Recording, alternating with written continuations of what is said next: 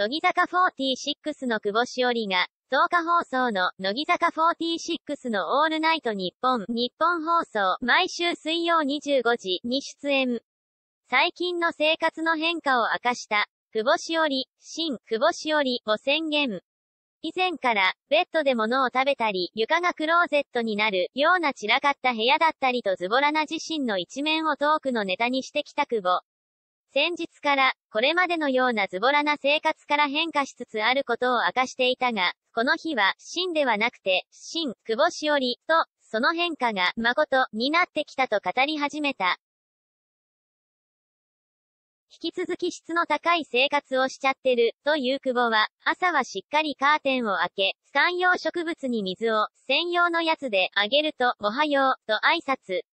さらに、朝起きて、掛け布団を半分にこう畳んでから家を出る、とベッドメイキングもしていると得意そうに口にし、質が高い。素晴らしいね、と自画自賛。さらに、今はもうどんなに急いでても、前の日の作り置きとかをちゃんと食べてから仕事行くようになりました。と、こんなに急いでる時に朝ごはん食べてる、自分やばくない、って酔いしれちゃって。と自宅で朝ごはんを食べるようになったことにもうっとり。正直今もう生まれ変わった、もう毎日もう1分1秒にやけが止まらないみたいな生活を今してる、と、自身の変化に酔いしれていることを明かした。久保しおり、現場のお弁当は、池田 A 社ちゃんに、また、夕飯についても現場のお弁当を持って帰るのでもなく、筑前煮など自分で作るようになったという久保。メンバーでお弁当を何個も持って帰る子もいる。池田 A 社ちゃんと子がお弁当何個も持って帰るの。